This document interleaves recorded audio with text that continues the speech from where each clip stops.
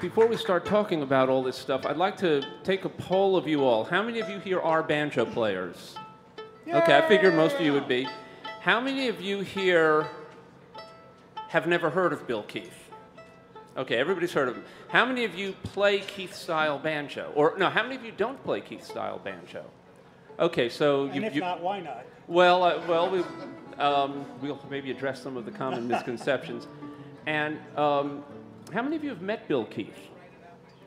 Okay, you know, th- some of you who have been coming to this festival for a while will remember that there's always a teepee over in the sponsor camping area, and Bill would hang out there. He's a guy who hangs out and loves to loves to play music, or he, he did. He passed away in October of last year at age 75. And if you just ran into him at the festival and he was this guy you would talk to and he'd always be eager to talk about music and banjo, you might not realize that he is, in my opinion, the second most important banjo player in bluegrass. There are many great players, but I think Bill, would you agree with me? He might be the second most ways- important. In some ways, I think he's the most important because uh, somebody always has to start something. And Earl, Earl certainly did that. But Bill not only mastered Earl's timing and tone uh, and his repertoire, but he bridged the gap between that and the modern player. Yeah, and I think without what he did, the new grass of the of the 70s and onward would be un- unimaginable. Because let's face it, the banjo is the signature instrument of bluegrass. Can I hear an amen? Amen. Okay. And Bill, you know, Earl Scruggs established what the banjo could do in bluegrass and set a path that everybody else more or less followed, even if they had their own take on it. But Bill gave it an entirely new voice. Tony Rice was in, was uh, interviewed in Bluegrass Unlimited recently. I don't know if you all saw that, but he uh, he made a great statement. I thought that uh, basically Dawg music wouldn't have even happened if it weren't for Bill and the formation. Well, his first recording, uh, which asked which he asked Grisman to be on, and then later led to the Muleskinner sessions. So before before we let these great players show some of what Bill Bill's music was like, I want to just kind of briefly describe how it works.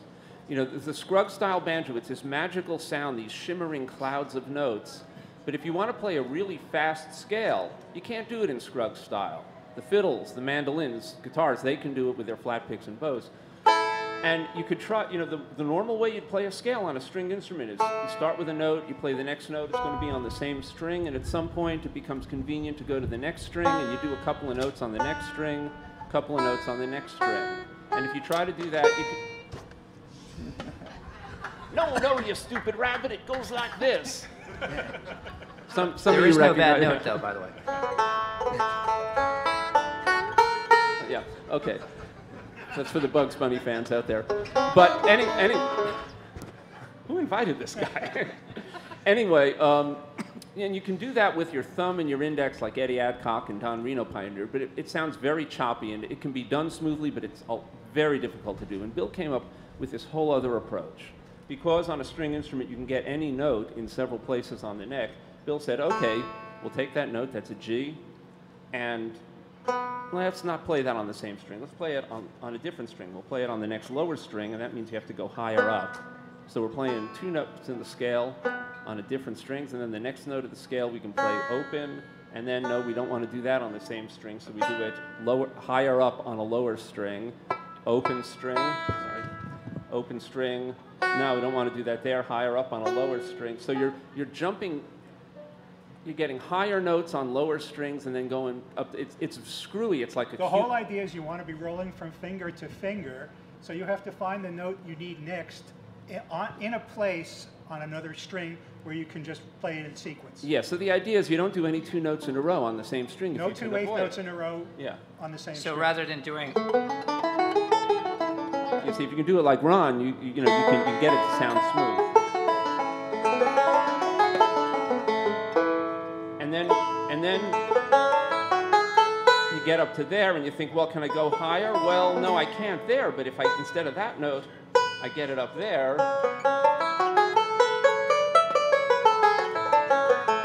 And then you can start finding patterns. Yeah, well, that's the, the John Hartford But thing. how did Bill find these notes on the banjo? How did he? Well, I, I don't know. Did he just like sort of think about it? Yeah, I mean, Well, how- he's what that was- kind of guy, wasn't he? Yeah. Well, well, you you were were- weren't you telling me, or was it somebody else about about um, Devil's Dream, the first song we played? It's a it's a it's an old t- tune from the British Isles. You don't hear you didn't hear it down south much, but you'd hear it a lot in the Canadian Maritimes and in New England. And Bill knew a fiddle player who played that tune. And uh, you, well, you tell the story because you sound like you got it more accurate than I Well, did. uh, this was um, in between summers, I believe, when he was at Amherst College. By the way, everybody, Martin Keith on banjo. I mean, I get on bass back here, thinking banjo, but playing bass. Yeah, Martin Keith. So Bill's son is right here with us today, and I, I, I have goosebumps. Yeah. Hooray for your genes! So, so I'm looking at Martin for guidance here, but I believe around when Bill attended Amherst College between 57 and 61, he came home during the summers to the Boston suburbs, and one of his neighbors, uh, named June, the wife of a machinist, Well, so yeah, Yeah. Lor- Loring Hall. Loring Hall. Um, dude, can we can we get this up to you there if you if you've got the full. Loring story? Hall was a machinist Lean friend of his. Uh, based on uh, first a mutual interest in old cars, I believe. he met Loring, who to this day uh, is is still living into his ripe old age. Um, and they worked on cars together, and that machine shop next to Loring's house is where he also developed the first prototypes of the Keith tuners. Yeah, More on that later. Yeah, more on that later. Loring's wife June is a fiddle player from I think Cape Breton. Um, So she knew all these tunes, and so Devil's Dream and Sailor's Hornpipe and tunes like that, he first learned from June. There's an interesting thing about that, actually. Um, so he learned those tunes from June, and there's kind of a, a chain where um, uh, To- Tony Trischka learned a lot of those tunes from Bill, and Bela learned a lot of those tunes from Tony, Yeah. and so on and so on down the line. And off. Bela hired um, a sax player Right. for the Flecktones named, gosh, what's his name? Jeff Coffin. Jeff Coffin, who is June Hall's, I think, great nephew or something like that. Yeah, that was like an amazing. It's a like, very small town. small world situation. yeah. Well, Bill, Bill said that he had heard June play this Devil's Dream and that he went to bed that night and he woke up the next morning and he said, I know how to put that on the banjo. That's great. That, Yeah. That's exactly what he told me. And, and you know, the, the roots of, of, you know, this higher note on a lower string style were, were, there were little smatterings of it here and there among the great old Like Don Reno players. and Don Like Don- Stover. Don Reno played banjo signal, one, the B Oh, part. Yeah. So that got that that C over here, or that, that five note, the four note over here. So there's that two note Yeah. roll anyway. And I think Bill might have heard that because Bill was listening to Reno and it was even playing. I actually have recordings of Bill playing single string. Yeah. Hmm. And, and Don Stover did. And then there's a whole whole tune, Noah's Breakdown by Noah Crase, which mm-hmm. it sounds like fully developed melodic style, but here's the thing, it, you know, people will come up with stuff like that, and it's a really cool tune, but Bill took the extra step to saying, no, this is not just Devil's Dream, this is something we can apply to anything that has scales in it. Once you have that scale,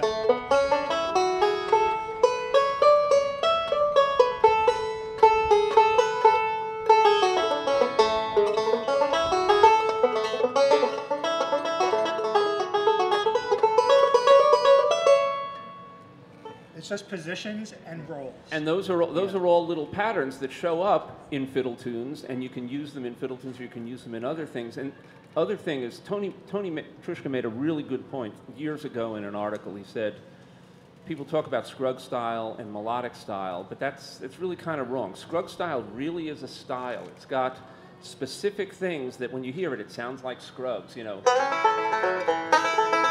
You know that stuff. He said melodic style is not a style; it's a technique that can be applied to many, many Yeah. different styles, to bluegrass, Yeah, to Bobby- jazz, Bobby to classical. Thompson's myth- melodic style is different from Bill Keith's melodic style is different from Alan Munde's. Well, and, uh, well, yeah, and that's just within bluegrass. But you Yeah. can go and you can apply it to, you know, you can, Cloud.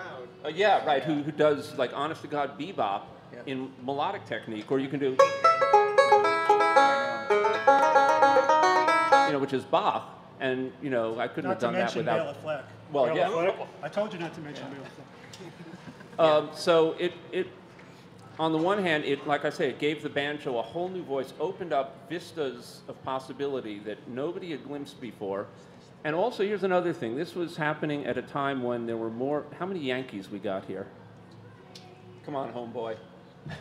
Um, this was happening at a time when more and more Northerners were getting into bluegrass, when more and more urban college students Jewgrass. urban college students were getting into bluegrass music. And here was this guy from New England who was this innovative musician who got a job playing with Bill Monroe and the Bluegrass Boys. And Bill Monroe would always mention that he was a Yankee from Massachusetts.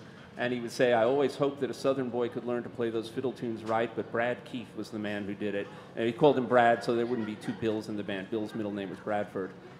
Well, what was amazing about Bill is he really foundationally started with Scruggs style, and during the Amherst college years, he transcribed all of most of, of Earl Scruggs' recordings. And then it was in 1962, after winning the, the learning the Devil's Dream the way he played it, and playing it at the Philadelphia Folk Festival and winning the banjo contest, he went down to uh, work with Frank Wakefield and then in DC area and got tickets backstage to see and meet Earl Scruggs and brought his book of, of tablatures that he worked on at Amherst College backstage and showed Earl Scruggs, who couldn't read tablature or music notation, because Bill could read, he wrote it out in music notation as well as tablature. And um, Earl looked at it and asked Bill to play from the book for him. And he was impressed that it looked as though Bill was playing the exact notes from, from the tunes. And so then invited Bill uh, down to stay with him for several weeks on and off um, in Nashville, where he brought him to the Grand Ole Opry and backstage hanging out, playing The Devil's Dream. Kenny Baker heard it, grabbed Monroe, and Monroe had the wonderful foresight to realize that this was something else. Perspicacity. Yeah. So, and that was how he got into the, the Bluegrass Boys. And this was this was a big deal for these these northern bluegrass fans. That here was one of their own, you know, a Yankee college boy playing with Bill Monroe and doing this innovation that was just blowing people's minds. And also, how, how many, what percentage of bluegrass banjo players do you think learned out of the Scruggs book or have the Scruggs book on their shelf? Probably uh, 70 or 80. Yeah, 70 or 80 percent, and that's that's Bill Keith's doing. That's Bill all Bill's Keith work. And Bill didn't see a dollar out of it. Yeah, I know, I know. Yeah. That's another story, but we won't get into that. But so he not only created this whole new way to play banjo that had that has ripple effects for the last 50 years, but he also spread the ability to learn Scruggs style all over the world in way in a way that nobody really had before. And I mean, I think both of those two things, um, I think, are really behind why uh, why last fall he was inducted into the International Bluegrass Hall of Fame. Um, and I'm really so glad that he was alive to see it when that happened. You know, much has been made of and said about Bill's melodic style. Uh, I've always placed a, a great deal of emphasis on the other nuances of his playing. And speaking of his, his short tenure with Monroe, one of the singles that Monroe immediately dragged him into the studio to record was uh, Shenandoah Breakdown. Uh, and Bill's playing on that, uh, except for a short little passage at the end of the, the B, at the middle of the B part, uh, in the middle of the A part as well. It's not really a melodic tune, but his right hand, his rolls, his syncopations, his little subtleties uh, of music, the things that showed off his musical erudition, uh, are what got to me more than the melodic stuff. Like, could you have an example? So let's play that. Most of these were written for the tuned banjo, so if you No,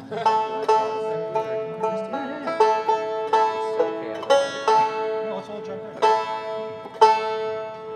We'll take turns. Me, you, them. Here we go.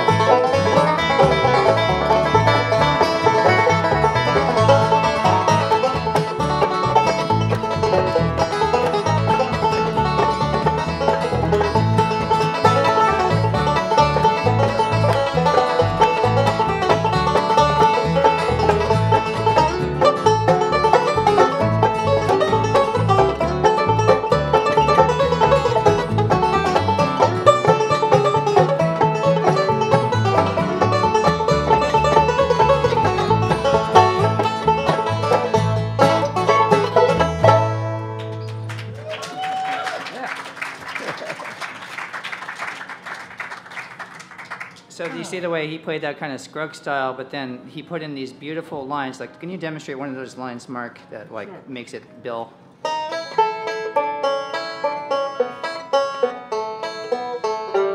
It's just this flowing, rolling thing. Play it up to speed now. Yeah.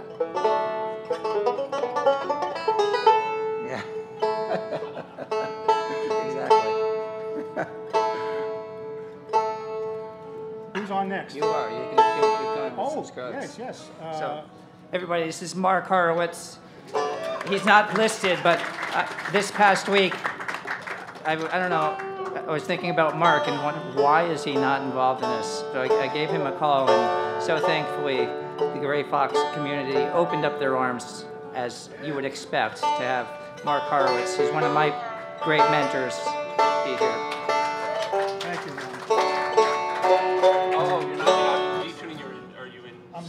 Setting the tuners? detuning. No, Oh, no. you are, you are. Why don't you talk a little bit about Washington Square? Yeah. Talk a little about his background. Yeah. So like most of the Jewgrass boys, I was born in, in Brooklyn, in New York City, and uh, I came up during the, the halcyon days of the Washington Square Park, Greenwich Village, University of Bluegrass, which would be every Sunday during spring and summer, we would gather around the fountain in the middle of the square and form these little nucleotides of, of uh, bluegrass bands, play for an hour or two and get all dehydrated in the hot sun, and then fission, and then reform with different bands. So in one band, one day it might be me on banjo, Eric Weissberg on fiddle or mandolin, Steve Mandell on guitar, uh, uh, Winnie Winston would be there, David Grisman. So all these cats would just hang around for six hours out in the sun and play music all day. And that's where I really, you know, learned to, I learned endurance for one thing. I don't, have any anymore, but, but just being able to stand and play uh, with very little in the way of refreshment, uh, except for a dirty water hot dog sometime around three o'clock. Uh, but this is where uh, a lot of us, Marty Cutler, we, we, we cut our teeth on this music. Uh, there was a, a healthy spirit of competition amongst the banjo players, which was a real, a real spur to our mutual development. I know Marty and I used to run down, when we heard of a new release of a Monroe single, we would take the train in, him from Rockaway in Queens and me from Brooklyn, to go to the uh, Liberty Music on, um, on Broadway and 52nd Street and score these Decca singles and haul ass home and see who could get home first and figure it out first. And me living in Brooklyn, since I, I was closer, I got home first, and by the time Marty got back to Rockaway, I had already worked out Salt Creek or Shenandoah Breakdown. so, uh, but that was that was a really fun time, and I've had the privilege, privilege had the privilege of knowing Bill since about 1964. We were talking before about Monroe. Uh, Bill uh, When did me. you first meet Bill? When I met you- Bill. I met Bill at the Queens College Folk Festival, which is a little local college folk festival in New York in 1964. Uh, he played with Rooney, and he invited me to come up to Cambridge that weekend. So I just jumped in his car on at 11 o'clock at night after that show and went up to Cambridge. Didn't tell my mother and father or nothing. I just jumped in the car. And that was a mistake. Bill had a, a 60 Chevy Bel Air with a 327 Corvette engine in it, lowered suspension, and Michelin racing tires. And we made it from Queens to Cambridge in three hours. What? Yeah. I've driven from Queens to Cambridge. And let's Nothing just- like that. Let's just say it was very cloudy in that car. So it's, it seemed like three hours, but Probably put that shot, to, probably put that car together with Loring. Yeah. Uh, at any rate, a few trips, a few trips up to Cambridge later, Bill had told me to bring my banjo up uh, with me to the Club 47. We were going to go see Monroe. This is probably around 1965, and uh, Bill came over to me uh, during the first set. And he said, three songs into the second set, you're going to go up and play a couple of tunes with Bill, with uh, Monroe. And I said, really? He says, well, that's why I wanted you to bring your banjo. So I was just, I was just frozen. But I screwed up my courage. I got up there, I played Shenandoah Breakdown and uh, Molly and Ten Brooks. And I got ready to leave the stage after I finished up, and Monroe grabs my arm, pulls me back, and he leans into the microphone. He says, Tell me, son, did you learn on Brad? Brad was Bill Keith's middle name, Bradley, Bradford, and, and uh, gifted name. there couldn't be two Bills in that band, so Monroe insisted on him being called Brad.